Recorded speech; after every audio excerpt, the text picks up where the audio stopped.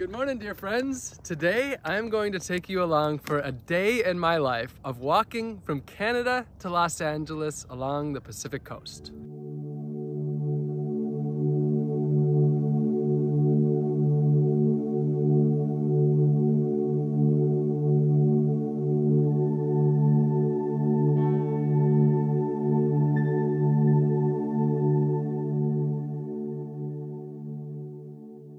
This morning, I awoke in the sand dunes at a county park between the Mad River and Pacific Ocean after a long, dark, late October night.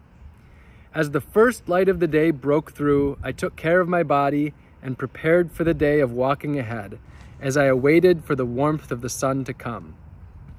I stretched out my body, drank water to hydrate, planned out my route using my printed maps and the computer, and took care of a little bit of work. With a brighter sky, it was time to get out of bed, stretch out the body, brush my teeth, and take my morning poop, returning part of myself to earth.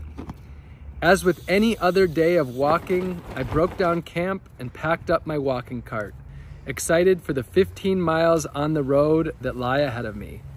All of this in silence.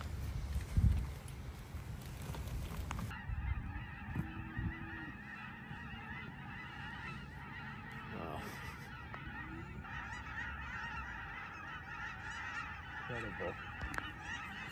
So it's 10 o'clock now, which means that it is time for breakfast. Uh, it's been 16 hours since I finished eating yesterday, so I'm completing my intermittent fast. And I'm now speaking. I take the first couple of hours in silence, and it's now time to speak and to eat for the morning. Okay, this is genuinely how I eat on the road.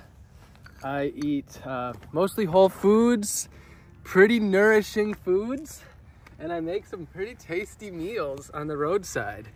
So this is uh, partially the gift from my hosts yesterday in Trinidad. They cooked me up a pot of quinoa for the road as well as some hard-boiled eggs. And then I have um, greens that I have foraged, four different greens.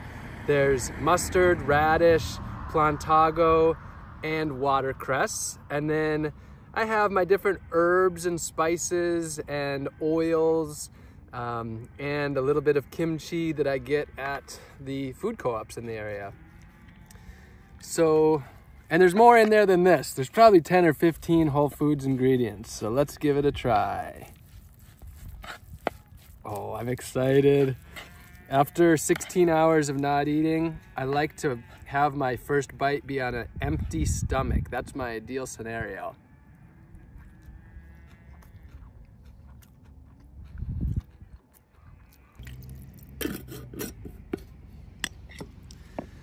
This is my method of washing my bowl. I have my drinking water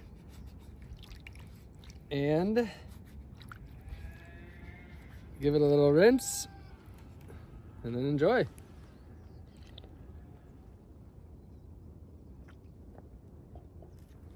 No wasted food here. so I have 15 miles to walk today.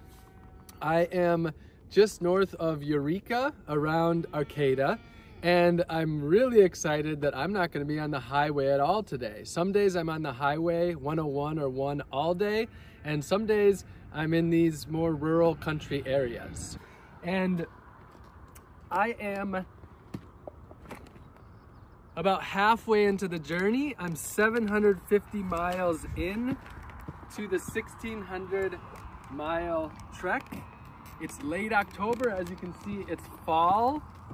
And I am elated to be experiencing this transition from summer into fall. And uh, as I keep walking forward, well, I'm walking into winter, I guess. Well, I'm nine miles into the day. It is about one o'clock, which is great because I've often not even left until one o'clock, but I am tired. I'm feeling it and it's time to take care of the body as well as do some chores. So I've arrived at a park where I'm gonna be able to do just that. Sometimes my rest stops are right on the side of the road and sometimes they are in places like this. And it's important to take care of my body because without my body, I'm not getting to Los Angeles. And it's also very important for me to take care of my gear. So there's always chores to do.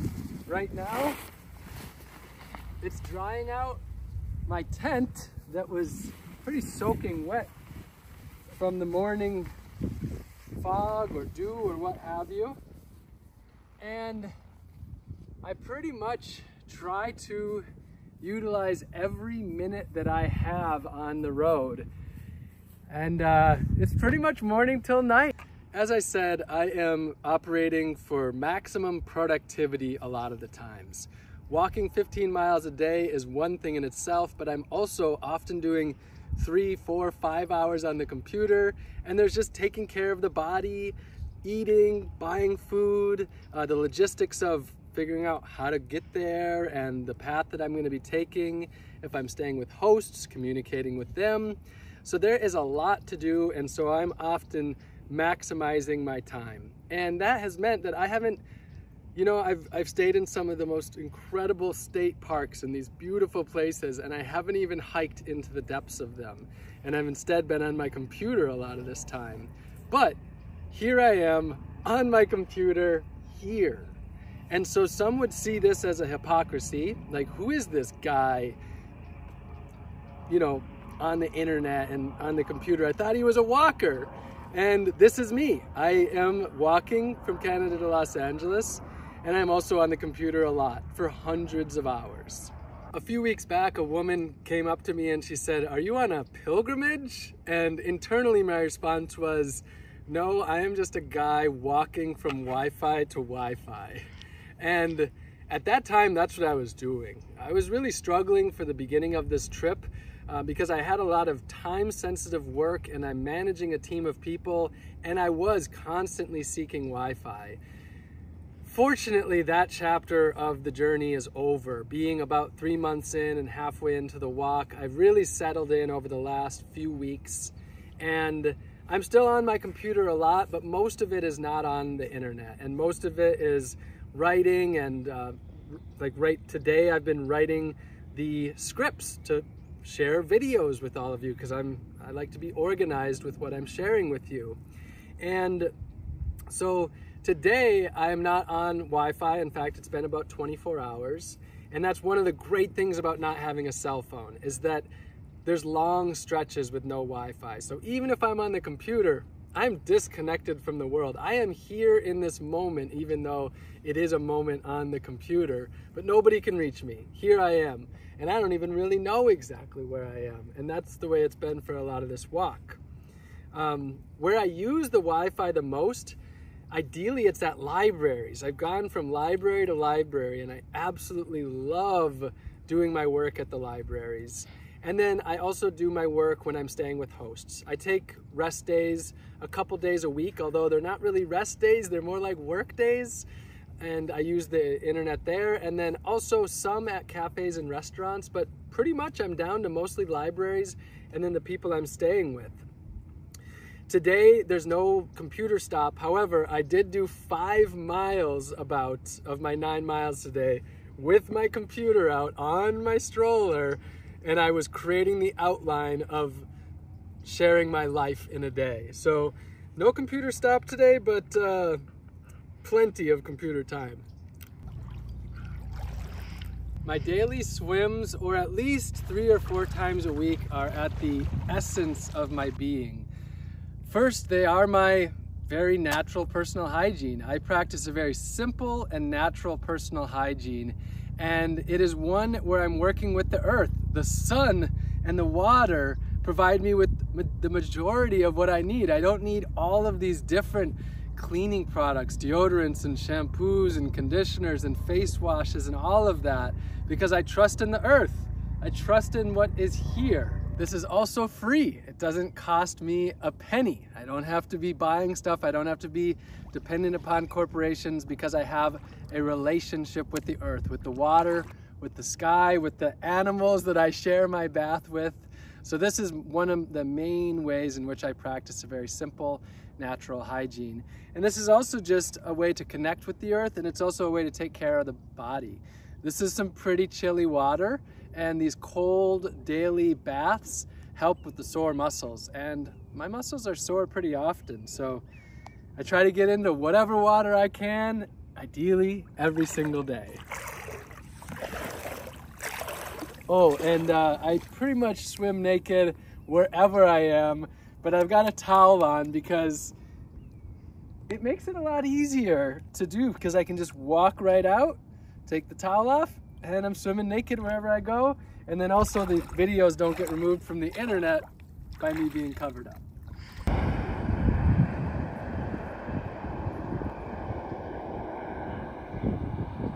I have a hard time leaving my friends on the side of the road, so I drag them off or pull them off the road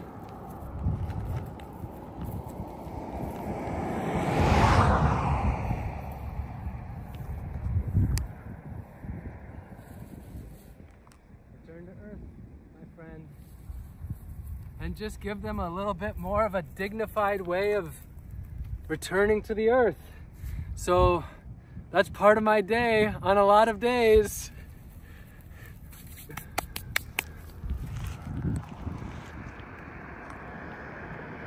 Now, a lot of people know me as a nature guy and they say, why, Robin? Why are you walking on the highway and not on the Pacific Crest Trail, for example, you know, a great nature trail? And the answer is because I am, this for me is an experiment in humanity. I am I'm not trying to be away from people right now. I'm trying to be with people, but in a unique way. I'm walking from city to city and town to town and experiencing what it's like to walk into a town having walked there from 800 miles away and getting to interact with people and organically share my, my message and my philosophy on life. Ahoy! wow! Good walking! Oh, thank you. This is also an opportunity for people who follow me online and want to meet me to be able to meet me. They know I'm coming through their town or their city and so they can come out and spend time together. And I have met a lot of people, some who have been following me for over a decade and some who just recently started following me. And it's been a joy um, just about every day these days. Someone pulls over who either knew that I was walking this route and, you know, was like, there he is. And we got to spend some time together or had no idea. And they say, is that that guy from the internet? Or even, is that Robin Greenfield? And they're often kind of confused because they're thinking, what is he doing in this little town in Washington or Oregon? I thought he lived in Florida or North Carolina. And so it's a beautiful little experiment and getting to, you know, meet people and connect with people. And I love to connect with people. And this is a beautiful way to be able to do that. The other big reason I'm not on a great trail is because this isn't a vacation. I'm working, I'm working really hard. And this is a way for me to be able to work and to be of service while still being on an adventure, still getting that inner exploration at the same time. And so the road is, you know, it's it's an incredible blessing to be able to be on this road because it provides me with my basic needs the ease of transportation being able to have my material items on a buggy uh, but also having access to shop food uh, being able to buy food to water to electricity and to internet. So i'm remaining very much a part of society while still getting to, in many ways, step outside of society. And this walk is an experiment with that. Now, the noise of the road does get to be really challenging, so I got some noise canceling headphones. And honestly, this is a hit to the ego for you to see me wearing these Bluetooth noise canceling headphones. I feel like uh, this is like, you know, you know I try to minimize my technology but I really struggle with the noise of the road and having these makes an incredible difference for me. And also I'm in class. As I'm doing this, this trip, I'm in class. I'm listening to books. I don't have a lot of time to read, but I'm listening to a lot of books. So right now I am listening to Ram Dass.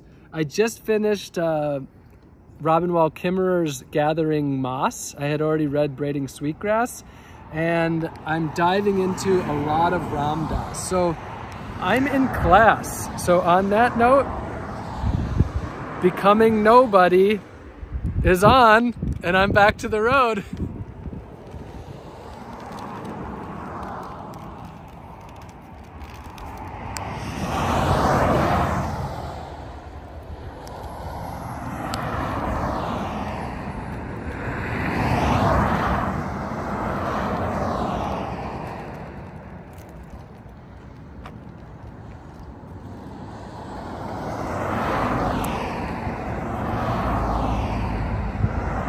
So I might not be on an incredible nature trail, but the Pacific Coast Highway, as far as a road to be walking goes on, it's one of the most beautiful roads that exists on earth. Being so deeply immersed with the Pacific Ocean and with all these different biomes and regions that I'm walking through. Every day I'm interacting with the earth and with the plants and the animals that we share this home with. I mean, I'm seeing more life here than I see in most of the periods that I've been alive. There is so much life out here and it's so nice to be a part of it every day.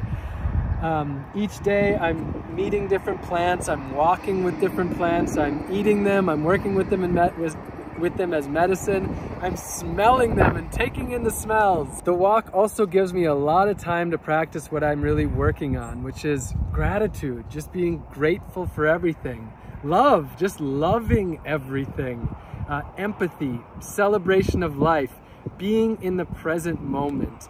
A lot of what I really want to be practicing right now is exactly what I'm able to practice on the road as I'm walking. And this whole experience is part of my four year experience of taking a break from sex and romance, sexuality, and instead I'm practicing deepening my relationship with the earth, with plants and animals, and with myself, and also with all of humanity, working to develop a more universal love and a deeper platonic love with, with everything. And if you haven't looked up what platonic love really means, look that up. It was, it's exactly what I want to be pursuing in my relationships.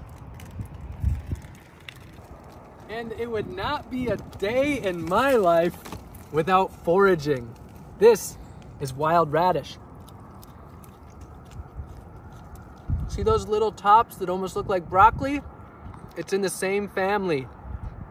And these are like a spicy broccoli. So I'm, ooh, and these are the little radish pods. Those are wonderful as well. So I'm finding food and medicine growing all over as I do whatever I'm doing. But as I'm walking, I'm covering so much ground, I'm seeing food and medicine growing all over the place. And in an average day, I might eat a little bit here and there about 10 or so times. Lots of blackberries and apples. Earlier it was some, some plums and some pears. Lots of greens, wild radish, mustard, plantago, watercress, and dandelion. Lots of some different herbs. Um, and then, of course, mushrooms, lobster mushrooms and chanterelles. And a lot of flowers too, nasturtium being a great one for California. So I do eat three meals a day, mostly from the grocery store, but I'm eating a lot of foraged foods too. I managed to stop in here at the library. It was directly on my route through Eureka and so here I managed to quickly check some emails and respond to them, check in with the team and see if they needed me for anything, and then also fill up my water. I fill up my water at many locations like libraries and public parks and campgrounds and the hosts where I'm staying. Sometimes it's wells and springs and really pure water from the land and other times it's tap water full of chlorine and fluoride and etc. And I'm doing the best that I can. Blackberries! Oh my gosh! Just hanging down as a treat. Mmm. Oh yeah, it's October. It's in the late October, and I'm still getting to eat blackberries. I've been eating blackberries since July 28th. I just realized. I've been eating blackberries from all over Washington, Oregon, and now Northern California for the last three months straight. And there's something that I wanted to share in this moment. I'm so glad that Brooklyn happened to be here in this moment because I wanted to share every day lately. I just have this bubbling of joy in me. It's this level of, it's almost bliss, which is like too much. Like, it's almost like, why am I so happy? But I would just describe it as this contentment. I feel this incredible contentment with life, and not only contentment, excitement. When I was a little kid and I knew I was gonna go out and catch frogs and turtles or go fishing, I just had this uncontainable excitement. And that's how I feel at the age of 38 right now. And it's, it's so, it's such a joy. Um, so yeah, just feeling this level of contentment and joy and excitement for life. And, um, and of just, I don't know exactly what it is, but I think it's safe to say walking has something to do with it. And I always believed that walking would be a vessel for getting me to slow down, to simplify, to come into the present moment, to get that balance. And uh, I'm really experiencing that. So I'm in Eureka. I've just finished a 15 mile day. But the day is far from done. It's almost five o'clock and I scheduled a little public gathering at a park that's about two miles ahead. So I'm gonna eat a few more blackberries, but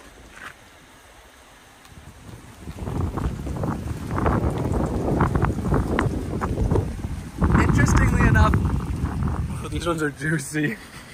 Oh man, that one just melted. Although I am on a walk, and I'm pretty free. I am also on a schedule. Uh, although this walk is for me to develop that peace, contentness, and balance, it's also for others in that what we are, we create around us. So, you're welcome. Thanks for stopping to say hello. It's, oh, and if you want to see this video, it'll be on my website, robingreenfield.org. Robin like the bird, Greenfield like where the birds hang out. Okay, cool. Hey, Thank you. see ya. Hi. I uh, just turned down ice cream. I can't believe you did that. Well, I ate eight cookies yesterday. like eight cookies in like two hours. So I have to put a cap on the sweets for now. I can't get back into my sweet fiend. People who know me know that I have a sweet tooth. And uh, one day, one day I'm gonna overcome that sweet tooth. And today is one of those days. Well, with a 16 mile walk, I managed to arrive at exactly five o'clock. But there's nobody here.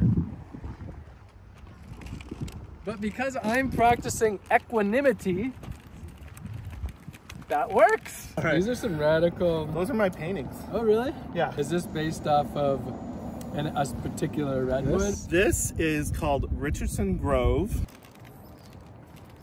Oh, you capturing this? Mm-hmm. As well.